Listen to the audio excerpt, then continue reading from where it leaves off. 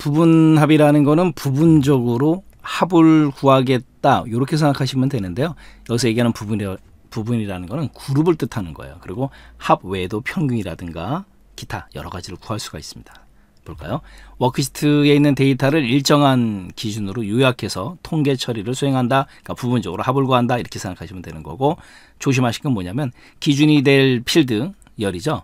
먼저 정렬이 되어 있어야 된다라는 거죠. 아까 부분이라는 건 그룹이잖아요. 그러니까 해처 모여를 시켜야 돼요. 그러니까 정렬 작업이 선행 작업입니다.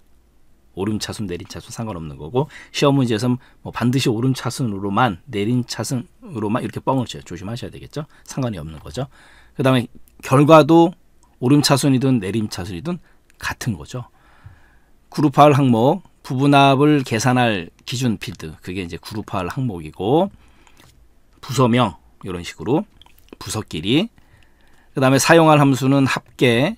합계가 나오면 당연히 이제 평균 따라 나오는 거잖아요. 합계 평균 가능한 거. 아까 요 합 합계 말고도 평균도 가능하다 이거고. 그 다음에 개수 그 다음에 숫자 개수 그 다음에 최대값 최소값 최대 나오면 최소값 따라오는 거고요. 그 다음에 합계니까 이제 곱도 가능한 거고.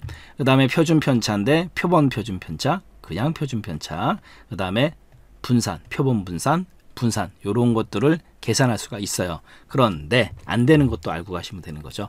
백분율 안 됩니다. 백분율 시험 문제에서는 백분율이 된다라고 이제 뻥을 치는 거죠. 백분율 안 되고 그 다음에 중위수 중간에 위치한 수 중간값이라고도 표현을 하는데 통계에서는 중위수라고 표현을 해요.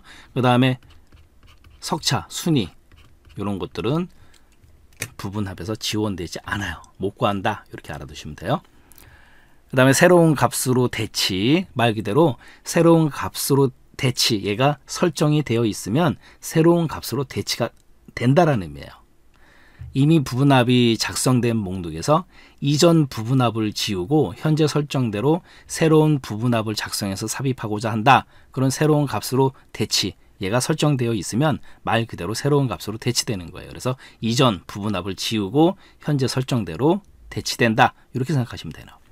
그다음에 모두 제거 데이터가 다 삭제되는 게 아니고 부분 합이 삭제되는 거예요. 목록에 삽입된 부분 합이 삭제되고 원래 데이터 상태로 돌아간다라는 거예요.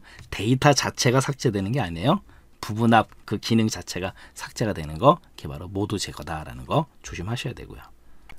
다음 중 부분 합에 대한 설명으로 옳지 않은 것은 부분 합을 작성하려면 첫 행에 열 이름표가 있어야 되고 그룹할 기준으로 반드시 정렬해야 제대로 된 결과를 얻을 수 있다. 부분합의 선행 작업 정렬 맞는 거고요. 두 번째, 그룹화를 위한 데이터의 정렬을 오름차 순으로 할 때와 내림차 순으로 할 때의 그룹별 부분합의 결과는 서로 다르다. 이미 말씀드렸잖아요. 이게 다, 다르면 말이 안 되는 거죠. 오름차 순이든 내림차 순이든 그 그룹별 합의 결과는 같아야 된다는 거죠. 정답은 2번이 되는 거죠. 세 번째, 부분합을 제거하면 부분합과 함께 표에 삽입된 개요 및 페이지 나누기도 모두 제거가 된다. 맞는 얘기고요. 네 번째, 부분합 대화 상자에서 새로운 값으로 대치를 해지하지 않고 해지하지 않고라는 것은 뭐예요? 새로운 값으로가 대치가 체크가 되어 있는 거죠. 그러니까 새로운 값으로 대치하라 이런 뜻이잖아요. 부분합을 실행하게 되면 이전에 작성한 부분합은 삭제되고 새롭게 작성한 부분합만 표시된다. 새로운 부분합으로 대치된다.